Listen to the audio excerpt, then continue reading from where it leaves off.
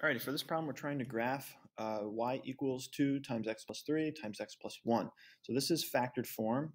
Uh, we, here's one factor, here's another factor, and well, really 2 is a factor as well. And when we're graphing in factored form, the first thing we need to do is establish what our roots are. And to find the roots, we're going to set each one of these factors equal to 0. And uh, whatever will make this factor equal 0 will be my root. So when x is negative 3, this whole factor will equal 0. So 1, 2, 3 here is my first root at negative 3, 0.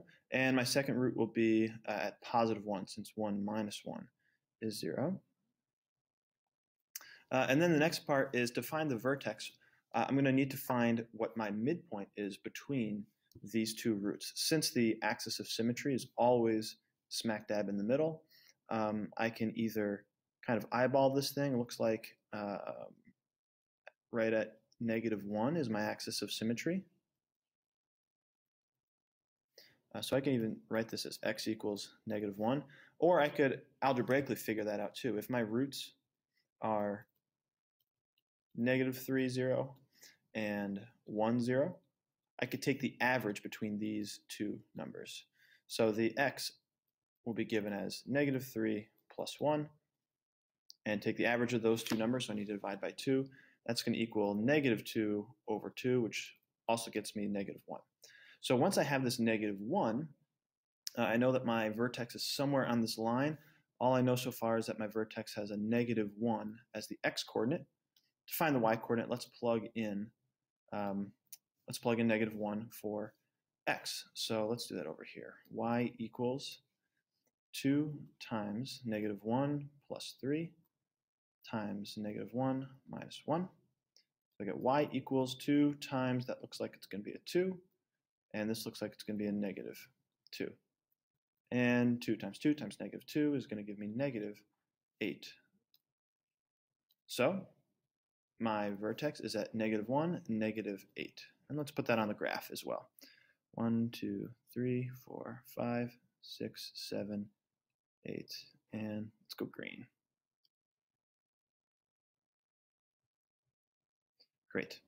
All right, and uh, I'm really fine with that being the three points that I get for this graph. We're not going to have to make a table. We could make a table to find the points in between, but we've got our roots and we've got our, our uh, vertex, so I'm satisfied with that shape there. To find the y-intercept, I have to remember that x equals 0 uh, wherever my y-intercept is. All of these coordinates have an x equals 0 counter or a point to this.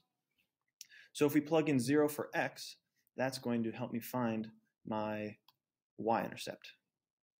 So y is going to equal 2 times 0 plus 3 times 0 minus 1. So this is going to be 2 times 3 times negative 1, which is going to equal negative 6.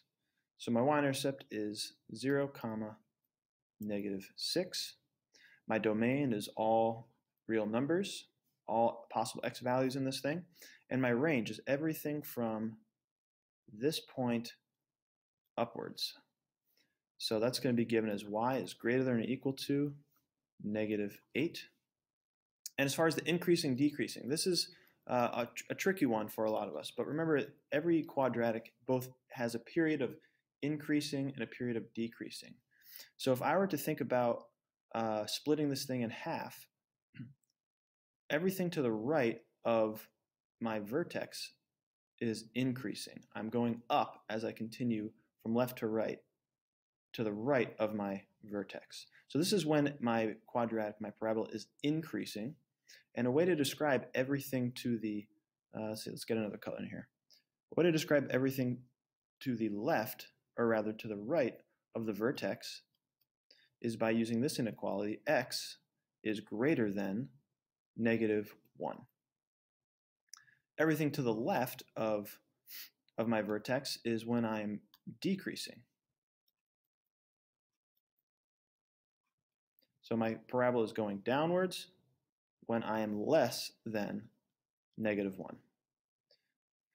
And that's the increase decreasing. Concavity, uh, this is opening upwards, so I'm concave up. And there you have. We have our, ourselves a graph with a whole bunch of stuff written all over it and all of these properties.